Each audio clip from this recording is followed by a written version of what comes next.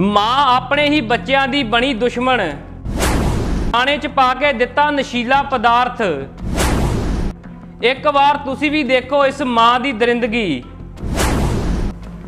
ਪਿੰਡ ਕੋਰ ਸਿੰਘ ਵਾਲਾ ਵਿਖੇ ਇੱਕ ਔਰਤ ਵੱਲੋਂ ਆਪਣੇ ਪਤੀ, ਸੱਸ ਤੇ ਚਾਰ ਬੱਚਿਆਂ ਦੇ ਖਾਣੇ ਵਿੱਚ ਨਸ਼ੀਲਾ ਪਦਾਰਥ ਪਾ ਕੇ ਬੇਹੋਸ਼ ਕਰ ਭੱਜਣ ਦਾ ਮਾਮਲਾ ਸਾਹਮਣੇ ਆਇਆ ਹੈ। ਰਿਸ਼ਤੇਦਾਰਾਂ ਨੇ ਦੱਸਿਆ ਕਿ ਬਲਜੀਤ ਸਿੰਘ ਦਾ ਆਪਣੀ ਪਤਨੀ ਸੰਦੀਪ ਕੌਰ ਨਾਲ ਪਿਛਲੇ ਲੰਮੇ ਸਮੇਂ ਤੋਂ ਝਗੜਾ ਚੱਲਦਾ ਸੀ। ਸੰਦੀਪ ਕੌਰ ਜੋ ਕਿ ਸਿੰਗਾਪੁਰ ਵਿਖੇ ਕੰਮ ਕਰਦੀ ਹੈ, ਉਹ 2 ਮਹੀਨੇ ਪਹਿਲਾਂ ਭਾਰਤ ਆਈ ਸੀ। ਇਸ ਦਾ ਪਤਾ 1 ਮਹੀਨਾ ਪਹਿਲਾਂ ਹੀ ਲੱਗਾ ਤੇ ਪੰਚਾਇਤ ਨੇ ਉਸ ਨੂੰ ਮਨਾ ਕੇ ਘਰ ਲੈ ਆਂਦਾ। ਦੱਸਿਆ ਕਿ ਦੇਰ ਰਾਤ ਸੰਦੀਪ ਕੌਰ ਦੇ ਪਰਿਵਾਰ ਦੇ ਖਾਣੇ ਵਿੱਚ ਨਸ਼ੀਲਾ ਪਦਾਰਥ ਮਿਲਾ ਦਿੱਤਾ ਤੇ ਆਪ ਸਵਿਫਟ ਕਾਰ ਵਿੱਚ ਸਵਾਰ ਹੋ ਕੇ ਫਰਾਰ ਹੋ ਗਈ ਜਿਸ ਨੂੰ ਛੋਟੀ ਬੇਟੀ ਨੇ ਜਾਂਦਿਆਂ ਦੇਖਿਆ।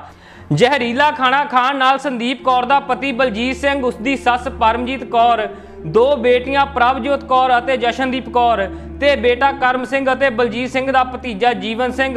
ਸਾਰੇ ਬੱਚੇ 10 ਤੋਂ 15 ਸਾਲ ਉਮਰ ਦੇ ਬੇਹੋਸ਼ ਹੋ ਗਏ, ਜਿਨ੍ਹਾਂ ਨੂੰ ਸਿਵਲ ਹਸਪਤਾਲ ਰਾਮਪੁਰਾ ਫੂਲ ਵਿਖੇ ਦਾਖਲ ਕਰਵਾਇਆ ਗਿਆ, ਜਿੱਥੇ ਬਲਜੀਤ ਸਿੰਘ ਅਤੇ ਉਸ ਦੀ ਮਾਂ ਦੀ ਹਾਲਤ ਗੰਭੀਰ ਬਣੀ ਹੋਈ ਹੈ, ਜਦਕਿ ਬੱਚੇ ਖਤਰੇ ਤੋਂ ਬਾਹਰ ਹਨ।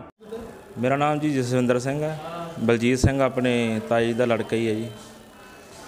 ਕੁਝ ਟਾਈਮ ਪਹਿਲਾਂ ਜੀ ਇਹਨਾਂ ਦੀ ਪਰਿਵਾਰ ਦੇ ਵਿੱਚ ਕੋਈ ਤੂ ਤੂ ਮੈਂ ਮੈਂ ਹੋ ਗਈ ਸੀਗੀ। ਇਹਨੇ ਘਰ ਵਾਲੀ ਆਪਣੀ ਸਿੰਗਾਪੁਰ ਤੋਰੀ ਸੀਗੀ ਜੀ।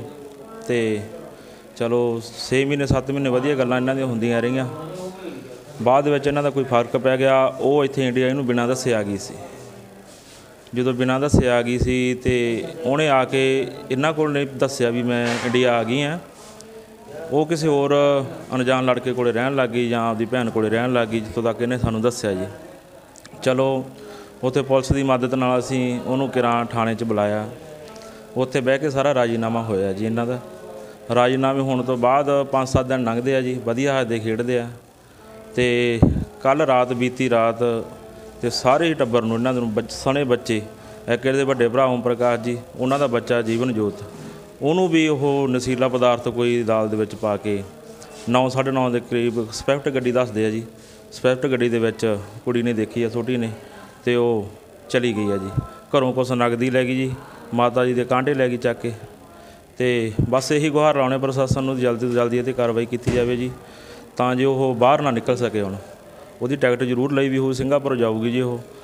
ਬੇਨਤੀ ਆ ਸਰਕਾਰ ਨੂੰ ਵੀ ਉਹਦਾ ਜਿਹੜਾ ਪਾਸਪੋਰਟ ਆ, ਉਹ ਰੱਦ ਕੀਤਾ ਜਾਵੇ ਜੀ। ਧੰਨਵਾਦ ਜੀ।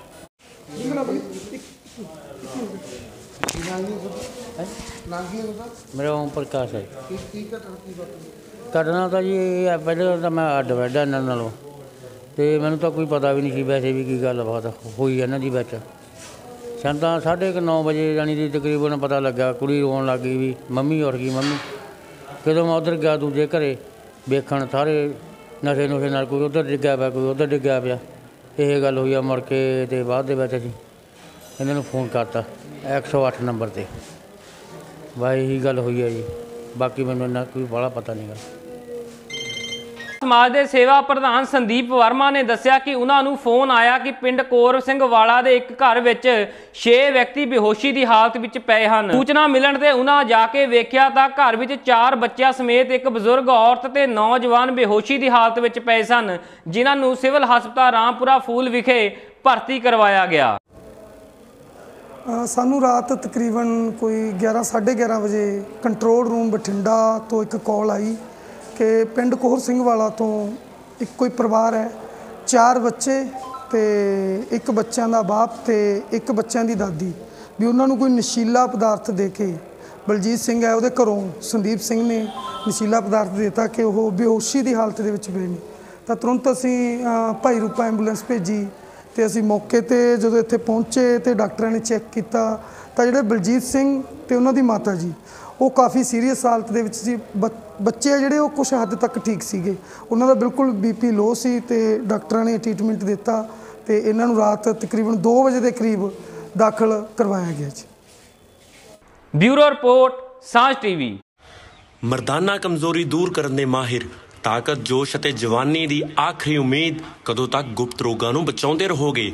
ਅਨੇਕ ਡਾਕਟਰਾਂ ਹਕੀਮਾਂ ਤੋਂ ਪੁੜੀਆਂ ਖਾ ਕੇ ਤੰਗ ਆ ਚੁੱਕੇ ਹੋ, ਨਿਰਾਸ਼ ਹੋ ਚੁੱਕੇ ਹੋ, ਪਰੇਸ਼ਾਨ ਰੋਗੀ, ਅੱਜ ਹੀ ਸੰਪਰਕ ਕਰਨ ਉਮਰ ਹੋਵੇ 25 ਜਾਂ 80 ਹੁਣ ਹੋਵੇਗਾ ਪੱਕਾ ਇਲਾਜ। ਦਰਦਰ ਨਾ ਪਟਕੋ ਕਾਂਤ, ਸ਼ਿਗਰ ਪਤਨ, ਘੱਟ ਸ਼ੁਕਰਾਣੂ ਸੁਪਨਦੋਸ਼ ਨਾਮਰਦੀ, ਮਰਦਾਨਾ ਕਮਜ਼ੋਰੀ।